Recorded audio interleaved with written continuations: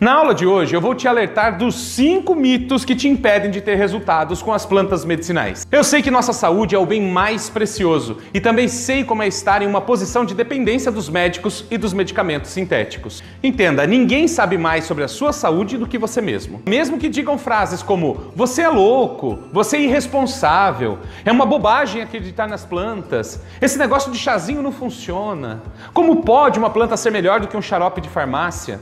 Saiba que você está falando com alguém que não entende nada sobre plantas medicinais e é por isso que ele está dizendo essas coisas. Então, derrubem esse mito. Se você utiliza flores e frutos de sabugueiro para tratar uma gripe, como a gripe H1N1, o resultado é tão eficiente como o medicamento Tamiflu, que é o medicamento químico mais utilizado para tratar esse tipo de problema. Ou se você tem uma tosse que não passa, o uso do gengibre é tão importante e tão eficiente quanto o fosfato de dihidrocodeína, que é um dos medicamentos antitussígenos mais utilizados no mercado também. Se você tem um caso de febre, mesmo que seja uma febre alta, difícil de baixar, o uso do picão preto tem a mesma ação que o paracetamol para baixar essa febre. Ou se você tem gastrite, se você utiliza plantas como erva espinheira santa ou até mesmo batata doce que você encontra na sua geladeira, você pode ter resultados tão bons ou melhores do que o omeprazol. Mesmo que seu problema seja grave, mesmo que ele seja incurável, as plantas medicinais podem melhorar muito a sua qualidade de vida, podem melhorar os resultados dos tratamentos que você já está fazendo.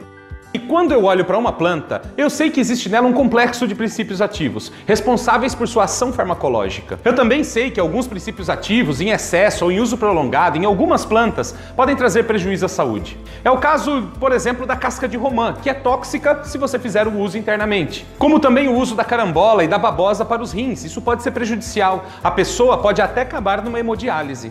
O uso interno do confrei pode levar a pessoa a desenvolver o câncer. Então eu reflito.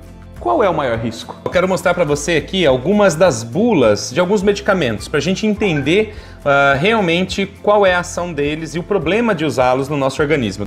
Reações adversas da dexametasona, hipertensão arterial, insuficiência cardíaca congestiva, osteoporose, fraturas por compressão vertebral, necrose da cabeça do fêmur, ruptura do tendão, úlcera com eventual perfuração e hemorragia perfuração do intestino grosso, esofagite ulcerativa, fragilidade da pele, sudorese, hipersudorese, dermatite alérgica, urticária, edema angioneurótico, depressão, euforia e distúrbios psicóticos. Ainda tem problemas endócrinos, oftálmicos, metabólicos. Quero mostrar para vocês agora a bula do diclofenaco trombocitopenia, leucopenia, anemia, distúrbio do sistema imunológico, reação de hipersensibilidade, choque anafilático, desorientação, depressão, insônia, pesadelos, irritabilidade, distúrbios psicóticos, cefaleia e tontura meningite, meningite asséptica, distúrbios de memória, pode causar convulsões, acidente vascular cerebral,